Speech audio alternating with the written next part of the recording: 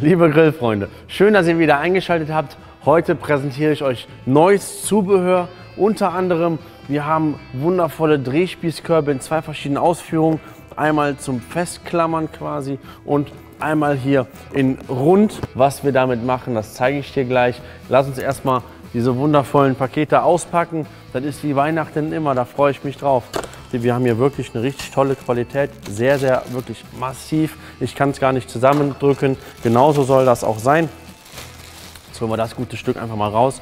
Und ja, hier ist es so, hier können wir in verschiedensten Höhen arbeiten. Das heißt, ob Hähnchenschenkel, Dorade, Forelle, wie auch immer, wir können hier wirklich in den Höhen arbeiten, so dass uns das Grillgut nicht hin und her fliegt beim Drehen, sondern wirklich fixiert ist. Da könnt ihr sehr gespannt drauf sein. Ich bin es auch und freue mich drauf, damit gleich arbeiten zu können. Komm mal hier ran. Freunde, es gibt gleich Popcorn.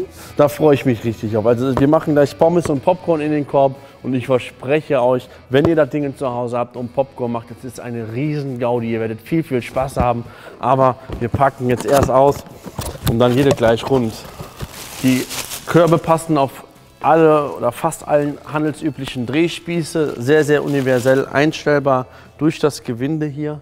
Ja? Das heißt, wir können wirklich auf jede Stärke damit arbeiten. Beim Aufmachen einfach draufdrücken, gegendrücken und dann können wir das hier aufmachen und dann können wir das quasi einfach in unsere Schüssel reintun, schön mit Butter und Zucker gleich. Ich bereite mal ein bisschen was vor, bis gleich. So, ich habe jetzt richtig Bock auf Pommes. Komm ruhig mal ran, dann zeige ich dir, worauf zu achten ist.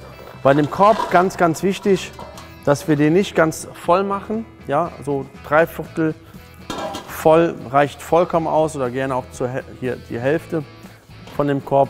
Dann können wir das einfach hier einhängen und klicken das quasi nur noch fest. Wir haben hier wie so eine Waschtrommel. Haben wir hier so diese zwei Nasen, so nenne ich das mal. So kann das halt wunderbar immer gemischt werden beim Drehen und es wird alles gleichmäßig gar und knusprig. Spieß habe ich soweit vorbereitet, heißt, ich stecke den jetzt hier durch und das Spannende ist halt, wir haben halt hier die Schraube, wo wir halt wirklich für jeden individuellen Spieß das hier durchstecken können. Das heißt, auch bei ganz großen und bei dicken Durchmessern an Spießen passt der Korb wirklich überall drauf. Den fixiere ich jetzt und dann gehen wir schon in den Grill. Ich habe den Grill auf 180, 200 Grad vorgeheizt und jetzt kommt der Spieß auf den Grill und jetzt, ich denke mal, eine halbe Stunde bei geschlossenem Deckel und dann haben wir schön knackige Pommes. Bis gleich. Mir ist noch was Wichtiges eingefallen, bevor jetzt die Pommes gleich fertig sind. Solltet ihr keinen Spieß bei eurem Grill mit dabei haben, wir haben zu fast jedem Grill, den wir führen, einen passenden Drehspieß. Ich sage mal zwischen 80 und 100 Euro. Kommt jetzt natürlich irgendwie auf die Größe des Grills natürlich drauf an. Und ich bin mir sicher, dass unsere Spieße sich genauso drehen wie von den, ich sag mal, von den Herstellern, wo es das Doppelte kostet. Ja? Liebe Freunde, ich habe die Grillhandschuhe an, das heißt jetzt gleich, wo das heißt, denn unsere Pommes, boah, guckt euch das an, sind fertig. Wie habe ich die gemacht? Ganz kurz, guckt einfach, dass ihr euren Grill auf 180, 200 Grad irgendwie einstellt. Lasst 20 Minuten laufen. Derjenige, der es knuspriger mag, der wartet einfach was länger. Derjenige, der, der es was heller mag, der holt halt was vorher raus. Gibt kein falsch, kein richtig, gibt nur schmeckt, schmeckt nicht. Wenn ihr das riechen könntet, wie das hier schon duftet, großartig. So, Pommes lasse ich gerade noch ein bisschen kalt werden. Der Korb ist ja noch schön heiß und der Grill. Heißt, ich fülle hier einfach ein bisschen Popcorn rein und glaubt mir, die Kinder, die Kinder werden einen Spaß haben mit den Pommes oder auch mit den Popcorn. Ja, gleich wenn in dem Grill bei geschlossenem Deckel es überall Puff, Pum, Peng macht, das ist einfach eine riesen Gaudi. Brenner an, Drehspieß an Bevor ich den Deckel jetzt zumache, habe ich hier noch ein bisschen Butter und Zucker. Das werfe ich einfach mit hier drauf, stelle den Brenner auf sehr klein und lasse es einfach mit flüssig werden. Dann kann ich das gleich über das Popcorn drüber machen. Bis gleich und jetzt warten die Pommes auf mich. Paff, Pum, Peng, wir hören es gerade und jetzt stellt euch vor, eure Kinder stehen irgendwie vor dem Grill und der Grill rasselt gerade vollkommen aus. Das ist doch einfach nur Spaß pur. Freunde, ich habe wieder die Handschuhe an, das heißt, Es ist was fertig geworden. Und jetzt öffne ich ihn natürlich hier drüber über der Schüssel.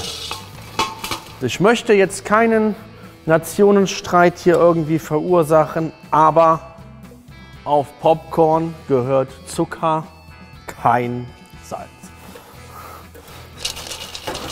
Ich hole gerade mal Rührbesteck, bis gleich. Endlich da. So, so geht das doch deutlich schöner und besser. Jetzt kommt gleich schon das nächste Produkt auf unserem nächsten Drehspieß. Bis gleich. Ich muss hier gerade aber noch was essen. Nach Pommes und Popcorn habe ich immer noch nicht genug. Hier unser zweites Zubehörteil, der zweite Drehspießkorb. Und hier ist es so, hier können wir wirklich in diesen verschiedenen Eben einfach arbeiten, um das dementsprechend Höhen verstellen. Das heißt, unterschiedlich starke Grillprodukte, sei es Dorade, Forelle, Lachs, Fleisch, irgendwelche Nacken oder sowas. Ich benutze gerne Hähnchenschenkelchen, die lassen sich super hier einsetzen. Jetzt drücke ich das einfach nur hier zusammen, gehe in das letzte Loch rein. Ja? So, ich nehme den Spieß, gucke, dass ich übrigens immer hier mittig bin, ungefähr. Dann drehe ich die Schrauben wieder fest, damit er sich wunderbar drehen kann. Ich mache die äußeren Brenner an, damit ich ein Grundrauschen an Temperatur drin habe. Mache dann noch den Heckbrenner an, weil ich habe ihn ja, also benutze ich ihn auch. Gucke, dass ich so bei 180, 200 Grad ungefähr bin. Und dann lasse ich ihn jetzt auch einfach laufen, bis das Hähnchen gar ist, beziehungsweise die Haut auch richtig schön knusprig ist. Jetzt ist ein super Zeitpunkt, mal in den Grill reinzuschauen. Denn wir sind so bei einer Viertelstunde ungefähr und wir sehen hier, wie schön knusprig das schon wird. Ich habe jetzt gerade mal unsere Edelstahl-Einsatzwanne unter den Korb gelegt, damit das Fett so ein bisschen aufgefangen wird. Denn diese Einsatzwanne, die brauchen wir gleich auch noch. Und ihr dürft auf jeden Fall gespannt sein, was es mit dieser Wanne auf sich hat und was wir da alles drin machen können. Also bis gleich. Die Hähnchenschenkel sehen großartig aus. toller Snack für zwischendurch. Ich habe es mit unserem Red One gewürzt und ich finde es einfach harmoniert super und freue mich darauf. Ich wünsche euch viel Spaß beim Nachgrillen, aber jetzt kommt ja schon wieder das nächste. Bis gleich. Nach Pommes, Popcorn, jetzt den Hähnchenschenkel, habe ich noch ein viertes für euch. Und zwar eine wundervolle Dorade. Ihr habt jetzt einfach in den Korb reingespannt, den Spieß durch. Jetzt kommt ein richtig guter Tipp von mir. Zitrone halbiert. Ich grill hier einfach mit, dadurch karamellisiert die Zitrone und diese karamellisierte Säure passt hervorragend zu der Dorade. Probiert es einfach mal selber aus, ihr werdet begeistert sein. Jetzt spanne ich wieder unseren Fisch ein, dass er wenig flöten gehen kann. Und dann geht es auch schon wieder rund für den Spieß.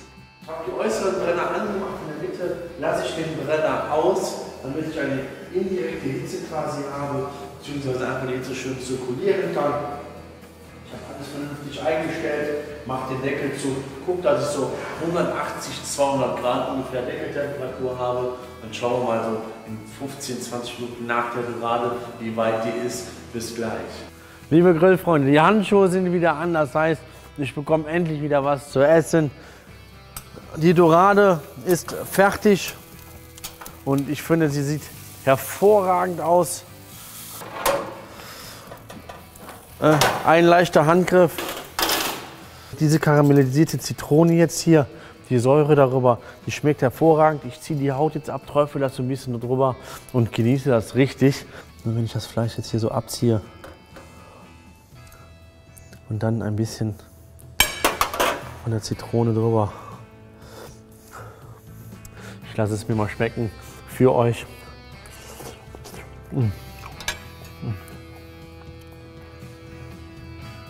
Hervorragend ein Gedicht.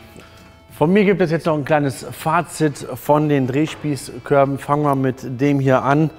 Sehr, sehr massiv verarbeitet. Wir können den super leicht aufmachen super geeignet für Popcorn, für Pommes. Wir haben es heute gesehen, aber auch gerne für Wedges oder Gemüse. Solltet ihr andere Ideen haben, könnt ihr die super gerne posten, würden wir uns sehr darüber freuen.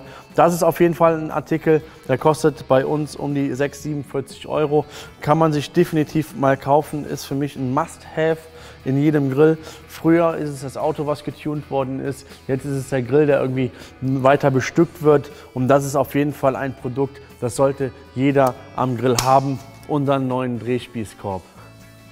Komme ich zum zweiten Drehspießkorb. Auch hier bin ich sehr, sehr von angetan. Mir hat es viel Freude gemacht, mit beiden zu arbeiten. Hier ideal geeignet für Gemüse, für Dorade, Lachs, Forelle, aber auch, wir haben es gesehen, die Hähnchenschenkelchen ne? oder größere Schenkel, ja, Chicken Wings können wir da drin machen, Braten können wir darin machen, weil wir es einfach so wunderbar Höhen verstellen und fixieren können. Das ist so der Benefit von diesem Drehspießkorb und mich überzeugen beide. Ich kann jetzt noch nicht mal sagen, welches, welcher Korb irgendwie ich besser fand. Ich finde beide großartig. Und jetzt habe ich aber noch einen richtig, richtig dicken Fisch ja, für euch. Und zwar in Köln selbst mal Refkoche dazu. Wir machen jetzt Reibekuchen im Grill. Das heißt, da bereite ich jetzt alles für vor, für lecker Refkoche. Bis gleich. Und hier ist es so, wir haben so Edelstahl Einsatzwand, 4 cm tief, richtig, richtig massiv und stabil. Habe ich schon mit Fett gefüllt, ja, zur Hälfte ungefähr. Und wir sehen hier die wundervollen Haken. Ich mache es nochmal. Die können wir nämlich damit wunderbar tragen, diese Wanne. Ja, raus und rein.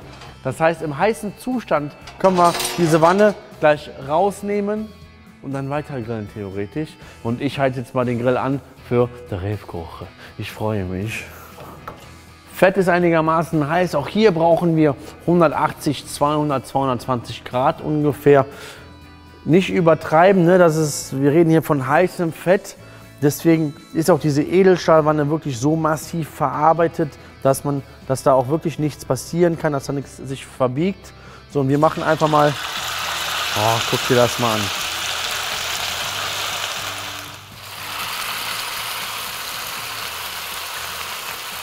Bitte niemals das Fett mehr als die Hälfte befüllen, weil das Fett würde sonst überlaufen und dann hätten wir einen riesen Fettbrand. Das müssen wir wirklich vermeiden. Bitte achtet darauf, das ist ganz, ganz wichtig.